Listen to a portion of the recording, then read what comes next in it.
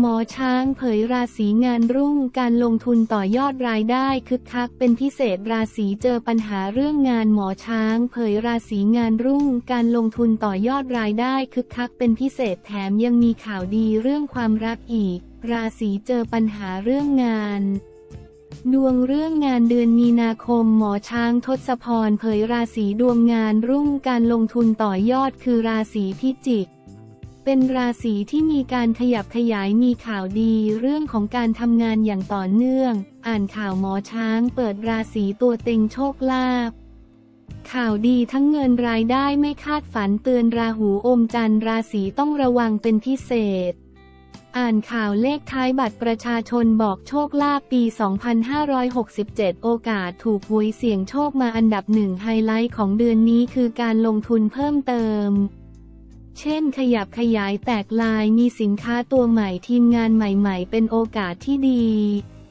ส่วนผู้ที่ทำงานประจำอาจมีภาระรับผิดชอบเยอะขึ้นหน่อย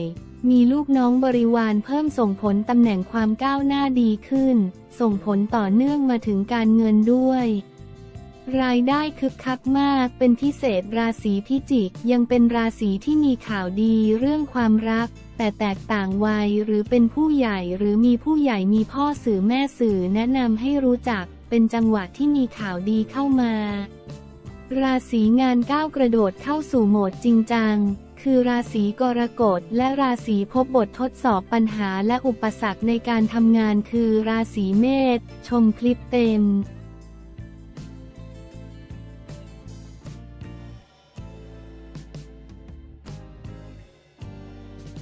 ใหญ่บ้านฟินแลนด์เผยสาเหตุชอบเที่ยวบาร์เกย์เล่าชีวิต เคยเก็บเห็ดเบอร์รี่ ขายผู้ใหญ่บ้านฟินแลนด์เผยสาเหตุชอบเที่ยวบาร์เกย์ไปหนึ่งคืนหมดเงินกี่บาท เล่าชีวิต เคยลำบากเก็บเห็ดเบอร์รี่ขาย กว่าจะรวยร้อยล้านสุดท้ายออกมาแต่ตัวให้ลูกหมดหลังจากผู้ใหญ่บ้านฟินแลนด์ และแพรวพราวแสงทองออกมาประกาศยุติความสัมพันธ์สามีภรรยาคงเหลือไว้เพียงหน้าที่พ่อและแม่ที่ดีของลูกน้อยทั้งสองคน น้องนาริตะน้องโตเกียวเท่านั้น ปิดตำนานมหากาบรักร้าวที่ถูกพูดถึงอย่างมากในสังคมออนไลน์ อย่างไรก็ดีผู้ใหญ่บ้านฟินแลนด์ หรือบิ๊กทิติวุฒิวารุณก็ยังคงถูกพูดถึงประเด็นที่มีลูกมีภรรยาแล้วแต่ไปเที่ยวบาเกทั้งถามเหตุผลลามไปถึงถามว่าเจ้าตัวนั้นเป็นหรือเปล่า งานนี้ไม่ปล่อยให้ชาวเน็ตคาใจนาน หนุ่มบิ๊กออกมาเผยเองสาเหตุชอบไปเที่ยวบาร์เกย์ และไปเที่ยวหนึ่งคืนหมดเงินกี่บาท บิ๊กทิดวูดวอลนบิ๊กฟินแลนด์ภาพประกอบผู้ใหญ่บ้านฟินแลนด์ หรือบิ๊กทิติวุฒวารุณโดยหนุ่มบิ๊กเผยถึงประเด็นดังกล่าวกับกระแสชอบไปเที่ยวบาร์เกย์ ซึ่งตนขอยืนยันว่าตนไม่ได้เป็นเกย์แต่ไปจริงไปกับเพื่อนพาลูกน้องไปโดยการไปเที่ยวบาร์เกย์ แต่ละครั้งก็จ่ายเงินกว่า 3-4หมื่นบาท พร้อมให้เหตุผลว่าลูกน้องมีแต่กระเทยเวลาพาไปเที่ยวก็คือไปจ่ายเงินให้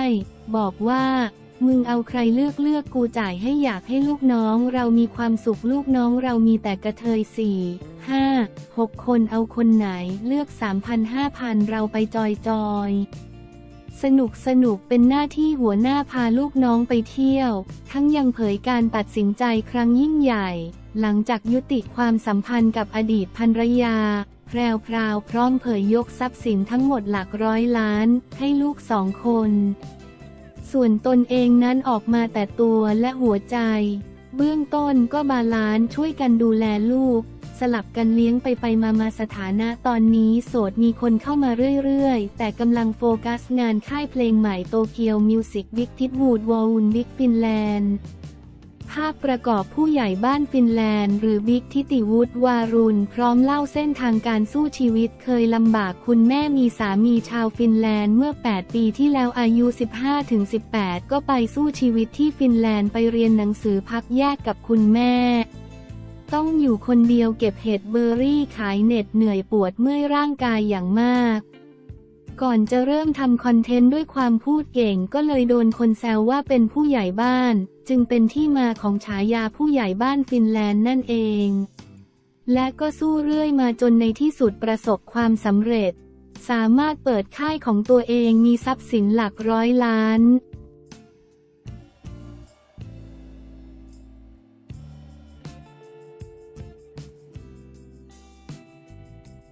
แม็กเชื่อธรรมะจัดสรรพบรักวิวตอนสวดมนต์มีบางอย่างคล้ายกันจนน่าตกใจแม็กวีรคณิต เชื่อบุญนำพาธรรมะจัดสรรพบรักวิววรรณรสคลั่งรักทั้งคู่ไม่เร็วเกินไปมีบางอย่างคล้ายกันจนน่าตกใจ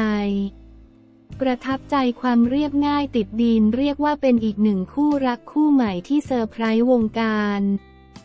สำหรับการเปิดตัวคบกันของพระเอกหนุ่ม แม็กวีรคณิตการวัฒนกุลและนางเอกสาววิววรรณรสสนทิชัย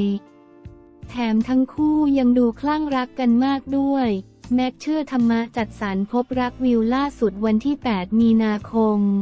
60 หนุ่มแม็กที่มาร่วมงานเปิดโรงภาพยนตร์ LG มิราค ลาสเลดซีนีมาณโรงภาพยนตร์ LG Miraclass LED Cinema เมกาซีนีเพล็กซ์ชั้น 2 ศูนย์การค้าเมกาบางนาได้เปิดใจจุดเริ่มต้นเพราะบุญนำพา ธรรมะจัดสรรให้พบรักกันพัฒนาความสัมพันธ์อย่างรวดเร็ว หลายคนเซอร์ไพรส์ว่าไปพบกับที่ศูนย์ปฏิบัติธรรม ใช่ครับ เป็นสถานปฏิบัติธรรมอาจารย์เชียงที่ผมรู้จัก ผมไปสวดมนต์อยู่แล้วเรื่อยๆ ไปทำวัดเย็นแล้ววันนั้นเป็นวันที่ไปไหว้พระจันทร์แล้วมีโอกาสเจอน้องวิว มันหันไปแล้วแบบเหื่ยอย่างนี้เลยหรอ เริ่มต้นผมไม่ได้อะไรเลย ผมนั่งสวดมนต์อยู่นั่งเน็บกินอยู่แล้ววิวก็เหมือนตามมารยาทเห็นผมอยู่ใกล้ๆ ก็จะทักทายพอหันมามองจะทักทีไรไอ้นี่ก็นั่งเน็บกินอยู่นั่นแหละ นั่งสวดมนต์อยู่ เป็นจุดเริ่มต้นที่ได้ทักทายกัน ก่อนหน้านี้ไม่เคยรู้จักพูดคุยอะไรกันมาก่อนเลย เคยมีทักทายกันบ้างครับ เพราะว่าพวกแม็กก็รู้จักกับสนยุคอยู่แล้ว เหมือนสนมีผู้จัดการเดียวกับวิว และวันนั้นวิวเคยไปร้านอาหารผมเมื่อนานมาแล้ว ก็เคยได้เจอกันบ้าง แล้วอะไรที่ทำให้รู้สึกว่าคนนี้แหละ เราอยากพัฒนาความสัมพันธ์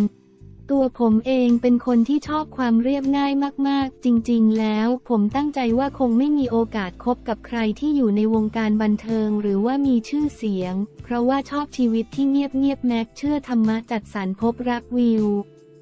แต่ว่าพอได้มีโอกาสมาเจอวิวทีแรก เราคิดว่าเขามีความดาราจังเลย เขาเป็นดารานะมันจะเป็นไปได้ไหม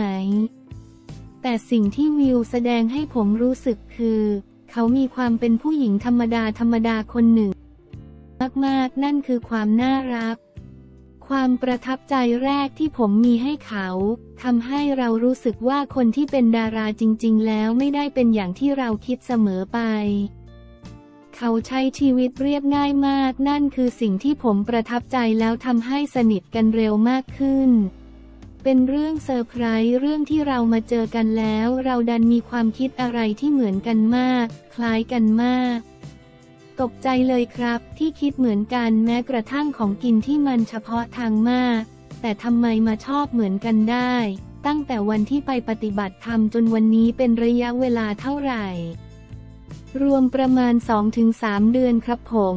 คิดว่าตัวเองคลั่งรักแบบเต็มรูปแบบไหม ผมไม่รู้สิมีคนเขาบอกผมอย่างนั้น ถ้าถามว่าเราเชื่อเลยไหม ผมว่าเขาทำให้ผมเปลี่ยนไปด้วยอย่างหนึ่ง คือว่าแต่ก่อนผมค่อนข้างเป็นคนที่จะมีเรื่องของมุมส่วนตัว แต่ว่าตอนนี้ผมรู้สึกมีความสุข แล้วผมอยากส่งต่อความสุขนี้ออกไป เป็นสิ่งตั้งใจแบบนั้นแค่นั้นเลย เหมือนมีแฮชแท็กคู่เราด้วยใช่ไหม ใช่เป็นความพอดีที่เขาคือวรรณรสและนี่คือวีรคณิตก็คือเป็น WW ทั้งคู่ก็เลยเป็น WW Couple ครับ แล้วที่ตัดสินใจเปิดตัวคุยกันยังไงบ้าง ตอนนั้นรู้สึกจริงๆ แล้วเราตั้งใจจะอยู่กันแบบไม่เปิดไม่ปิด เราก็ใช้ชีวิตปกติทั่วไปเลย แต่ว่าพอวันนั้นมันเป็นโมเมนต์วันวาเลนไทน์ แล้วดันมีรูปน่ารักรักด้วยผมเป็นผู้ชายถ้าเกิดว่าผมไม่ทำก่อน มันก็ไม่เท่สิรู้สึกว่าผมชัดเจนนะ อยากแสดงความชัดเจนแล้วก็ให้เกียรติให้เขารู้ว่าผมมีสายตาให้เขาคนเดียว เพื่อนรอบข้างรู้มาก่อนหน้านี้ไหม มีเพื่อนที่ไปปฏิบัติธรรมด้วยกันครับเป็นนักร้องฮิปฮอปสักเยอะๆเลยที่รู้รู้แค่ไม่กี่คน ถ้าถามว่าเปิดตัวไปเพื่อน feedback ยังไง ก็เซอร์ไพรส์ยินดีกันเยอะครับ บอกว่าเป็นคู่ที่อยู่ด้วยกันแล้วน่ารัก ก็ดีใจ หลายคนบอกว่าหน้าคล้ายกัน ก็ดีใจครับ สวยหล่อก็มีคนบอกเหมือนกันว่าหน้าเหมือนกัน อยากให้สถานะไหมว่าคู่ของเราจริง ๆ คืออะไร จริงๆ แล้วผมว่าผมคือคนธรรมดาเราใช้ชีวิตปกติแล้วเราก็แสดงออกกันด้วยความจริงใจว่าเรารู้สึกกันแบบนั้น อย่างที่เห็นแหละครับผมว่าภาพมันคงบรรยายได้มากกว่าที่ผมจะพูดแล้ว ถ้าถามว่าแฟนไหม ก็เป็นคนที่เราคบกันแหละ จริงๆ แล้วผมตั้งคำถามกับวิวตลอดเลยว่า มันเร็วจนเกินไปไหมทุกอย่างมันเร็วมากเลยนะ แต่เมื่อถึงวันหนึ่งที่เราอยู่ในจุดนี้ วัยนี้ผมรู้สึกว่ามันไม่ได้นับที่เวลาแล้ว นับที่ความคลิกความเข้าใจจริง ๆ แล้วความรู้สึกว่ามันสบายใจอุ่นใจ มันปลอดภัยลงตัวนั้นคือสิ่งที่ผมรู้สึกกันกับน้อง ก็เลยรู้สึกว่าจับมือกันแน่นแล้วไปด้วยกันได้ มองว่าเป็นแบบธรรมะจัดสรรบุญนำพาไหม ผมอยากจะเชื่ออย่างนั้นนะ ผมอยากจะเชื่อว่าอาจจะไม่ค่อยมีใครเห็นมุมที่ผมทำดี แต่ว่ามาจนถึงเวลาที่ผมได้รับรางวัลบ้าง ถ้าถามว่าปกติเข้าวัดต้องขอพรเรื่องความรักไหม ก็ไม่เคยขอเลยครับ ถ้าเกิดผมมีความรักจริง ๆ แล้วเป็นคนที่ค่อนข้างมีความเป็นผู้หญิงด้วยซ้ำคลั่งรักหรือไล่ตาม แต่ว่าเมื่อวันที่เราหยุดไล่ตาม วันนั้นเรากลับได้เจออะไรที่ไม่คาดคิดมาก่อนเหมือนกัน กับคนนี้เรามองไปถึงขนาดไหน ผมอยากทำทุกวันให้ดีที่สุด ผมขอขอบคุณเขาทุกวัน คือผมมักพูดอย่างนี้ขอบคุณนะนะรู้สึกที่มีกันในแต่ละวันมันดี อยากทำให้เต็มที่ที่สุดเพื่ออนาคตที่ดี เป็นคนโรแมนติกไหมเรื่องใหม่มาก ผมจะบอกกับวิวเลยว่า ไอ้นี่มันเป็นใคร งงผมว่าเขาทำให้ผมสามารถดึงมุมที่ดีที่สุดออกมาได้ แปลกใจตัวเองแต่รู้สึกดีใจที่บางโมเมนต์มันเกิดตามธรรมชาติทำไมอยากทำสิ่งที่ไม่เคยทำเพื่อเขา มันไม่ได้เซตหรอกว่าสิ่งนี้ฉันไม่เคยทำฉันทำให้เธอแต่ทุกอย่างที่เกิดขึ้นมันจะมาเอง ถ้าถามว่าเพราะเป็นเขาไหมเราถึงทำก็แน่นอนครับ พราะเป็นเขาด้วยผมถึงอยากทำอะไรพิเศษพิเศษให้โดยที่แบบไม่คิดมาก่อนจริง ๆ